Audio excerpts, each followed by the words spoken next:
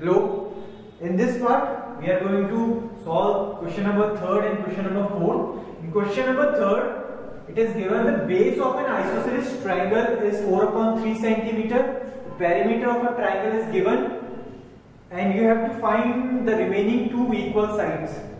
We know the isosceles triangle is a triangle whose two sides are given. Uh, two sides are equal in length. So this is an equilateral triangle.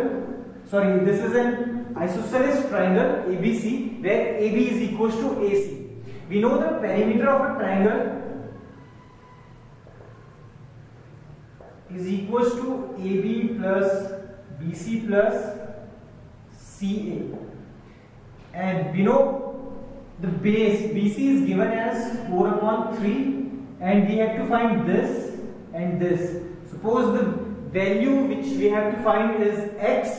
So this AB is x, BC is 4 upon 3 and CA is also x and the perimeter is given as 4 2 upon 15 where when which is uh, when uh, that fraction is converted to fraction it would become 62 upon 15 uh, further solving this this plus this will give you uh, 2x plus it is 4 upon 3 is equals to 62 upon 15 and this constant shifted to this side it will become 62 upon 15 and positive will become negative or 2x taking LCM 15 62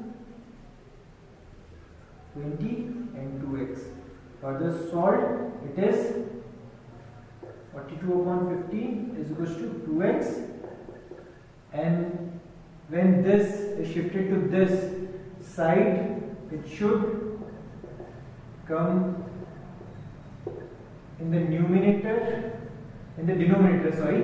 And when this is cancelled out it will become 21 upon 15x which is further cancelled out at 7 upon 5 so x would become 7 upon 5 so this answer should be 7 upon 5. The next question, sum of two numbers is 95 if one exceeds the other by 15. Find the number. Uh, here it is given that there are two numbers whose sum means whose addition is equals to 95 and it is given that if one number exceeds the other by 15 means the other number is 15 more than the previous number. So assuming the previous number as x so the next number should be 15 more than this number. Solving this it is actually this plus this is equal to 95 and this plus this is 2x and when this is shifted to that side will become 95 minus 15 and it will be 2x is equals to 8 next should be equals to 40 thank you